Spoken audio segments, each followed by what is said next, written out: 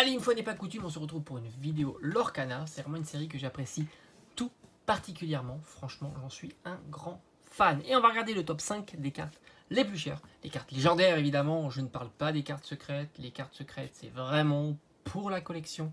Et non pas pour le jeu parce qu'elles sont beaucoup beaucoup trop chères et tu les trouves trop rarement dans tes ouvertures. Alors que franchement, les légendaires, ce sont des cartes qui lorsque tu ouvres des boosters, tu as une belle probabilité de mettre la main sur une légendaire. Et franchement, ça nous régale. Franchement, c'est vraiment la cerise sur le gâteau lorsque tu as un TCG comme ça, où ils sont généreux sur les légendaires. Légendaire, c'est quoi?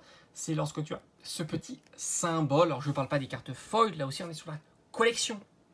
La collection, ça n'apporte rien, les cartes foil, euh, par rapport au jeu. Donc, en première position, on retrouve Réponse, oui, elle est en première position, la carte Réponse. Elle est aux alentours de 45 euros. C'est une carte qui coûte 4, qui est ancrable. Ça, c'est régalade. Hein. Franchement, elle coûte pas cher. 4, c'est pas cher. On est au milieu de game hein, avec 4. Hein. Euh, elle est ancrable. Est-ce que tu as envie de la mettre en encre? Pas trop, mais disons que bah, si tu as trop de réponses dans ta main, eh ben, tu es de temps en temps obligé. Mais au moins, tu as le choix. C'est toujours mieux d'avoir le choix. C'est une 1-5. Alors, tu me diras, 1 en attaque, c'est pas beaucoup. Oui, c'est vrai. Mais est-ce que tu as envie de la faire attaquer, sachant qu'elle te permet d'avoir 2 de l'or, et en plus, elle est très robuste. Parce que 5, c'est quand même pas mal. Mais son point fort, c'est répand ta magie. Lorsque vous jouez ce personnage, retirez jusqu'à 3 jetons dommage de l'un de vos personnages, et piochez une carte, par jeton ainsi retiré. Et ça, ça peut vraiment te sauver la partie. Parce que si tu as un personnage avec trois jetons de dommage, tu vas pouvoir les retirer. Ça, c'est plutôt sympa. Et en plus, piocher trois cartes. Et ça, ça te donne un avantage considérable dans le jeu. Ce qui explique le fait qu'elle vaille assez cher. Puisque c'est une légendaire, donc elle est rare quand même. Et en même temps, euh, très forte. Il faut savoir que les cartes rares, les cartes légendaires sont pas spécialement très chères. Hein. Tu as vu, si tu regardes ma, mes vidéos précédentes, je t'invite à les regarder, elles sont pas toujours euh, très chères. J'ai fait un classement des 5 cartes les moins chères euh, du format légendaire. Mais celle-ci, bah oui, forcé de constater que populaire aussi, hein, évidemment, on est sur réponse. Après, on arrive à la carte que je n'ai pas dans ma collection. Je vais te la mettre ici. C'est Elsa, bah oui, Elsa, forcément. Bah, Elsa, déjà, ça va être, euh, je pense, le personnage le plus populaire de ce TCG. Euh, et elle est très présente dans le chapitre 1. Donc c'est une carte qui vaut aux alentours de 40 euros. 40 euros parce qu'elle est moins forte. En tous les cas, j'estime qu'elle est moins forte ou moins jouable que réponse. Elle coûte 8 déjà, ce qui est quand même considérable. 8, faut être assez avancé dans le game. Elle n'est pas ancrable, tu me diras quand tu l'as, tu n'as peut-être pas spécialement envie de la, transformer en encre. C'est une 4-6, c'est plutôt pas mal. Et elle a 3 de l'or, ça c'est indéniable, c'est un plus 3 dans l'aventure, sachant qu'au bout de 20, c'est plié. C'est un, fort bonus.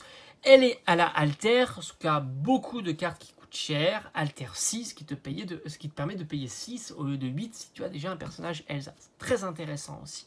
Mais elle a aussi gel intense. Lorsque vous jouez ce personnage, choisissez jusqu'à deux personnages et épuisez-les. Ils ne peuvent pas être redressés au début de leur prochain tour. Et ça, c'est plutôt un avantage euh, indéniable. Ce qui fait qu'elle est en position 2 sur les cartes les plus chères euh, de cette série-là légendaire. J'exclus évidemment toutes les cartes secrètes qui sont quand même à mettre dans une autre catégorie. Alors on continue et là on est sur la carte belle que j'ai et elle est ici. Alors moi j'aime bien le dessin animé La Belle et la Bête. Carte belle que j'ai eu en plus en foil, mais là on n'est pas pour discuter de ça. C'est une carte qui coûte 4. Ça nous fait penser un petit peu à réponse. Elle est ancrable, c'est une 2-4 un petit peu plus forte que réponse et un petit peu moins résistante que réponse. Elle apporte un de l'or, ça c'est vraiment pas énorme, mais attention, ça dépend quand tu la joues et ça, ça peut tout changer. Lis bien, écoute bien, tu verras. Lire un livre à chaque tour, oui, à chaque tour, vous pouvez placer une carte supplémentaire de votre main dans votre réserve d'encre. Alors tu me diras, tu n'auras pas toujours des cartes à placer. Je suis d'accord, mais là au moins tu as le choix. C'est toujours mieux d'avoir le choix. Mais alors attention, là c'est le meilleur passage, mon passage préféré. Tant que vous avez tant que vous avez 10 cartes au plus dans votre réserve d'encre, ce personnage a 4, a plus 4 en l'or. Plus 4 Si je lis bien, plus 4. Elle n'a pas 4 en l'or, mais plus 4. Ça veut dire qu'elle a 1 plus 4, ça fait 5. Et ça, c'est vraiment pas mal. Alors évidemment, tant que vous avez 10 cartes au plus dans votre réserve d'encre, bah, il faut y aller. Mais alors là, le game est plié. Hein. Très sympa. Après, évidemment, hein, je pense pas que dans l'état du jeu, tu vas la placer. Enfin, tu auras ces 10 cartes de réserve d'encre. Euh, souvent, la partie est terminée avant. Mais on ne sait jamais, on ne sait pas comment le jeu va évoluer, est-ce qu'il y aura des cartes qui vont permettre bah, de diminuer plus considérablement les lores, etc. On ne sait pas, les parties peuvent être plus longues à l'avenir euh, par rapport aux autres cartes qui seront proposées. En tous les cas, celle-ci apporte un, game qui est très intéressant. On arrive aux alentours de 40 euros aussi. On a Maléfique avec le dragon monstrueux. Donc c'est une carte qui coûte énormément. On est à 9, elle est ancrable, c'est une 7-5. Autant vous dire que quand as 7 en attaque, c'est énorme. Peut-être qu'un jour ils mettront une carte aussi, un peu comme Magic piétinement. Hein. Ça veut dire que tu pourras distribuer tes dégâts sur plusieurs personnages. Ça c'est sûr, c'est des choses qui vont arriver. Hein. On peut l'imaginer en tous les cas, parce que le jeu va se développer. Et on va retrouver euh, des skills, des compétences qu'on avait dans les autres TCG. Et tu pourras peut-être même le mettre, le donner sur des euh, personnages, tout simplement. Donc elle a 2, c'est bien. On a 7, 5, c'est bien. On a 9, ça coûte cher, mais on, verra qu'il y a des items qui peuvent diminuer hein, le, coût de 1, de 2, etc. Mais la feu du dragon, lorsque vous jouez ce personnage, vous pouvez choisir un personnage et le bannir. Bah ça c'est toujours sympa. Elle arrive en jeu, donc elle joue. Et puis bim, tu bannis un personnage. Si un peu un personnage un petit peu embêtant que tu as en face, je sais pas, un personnage qui serait assez assez costaud avec euh, un saisissable par exemple, parce qu'un saisissable ça peut être vraiment vraiment chiant.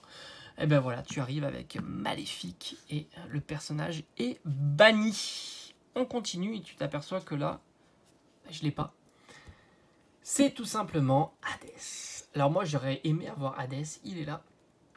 J'aime bien hein, les cartes de Hades, je trouve qu'elle est très sympa.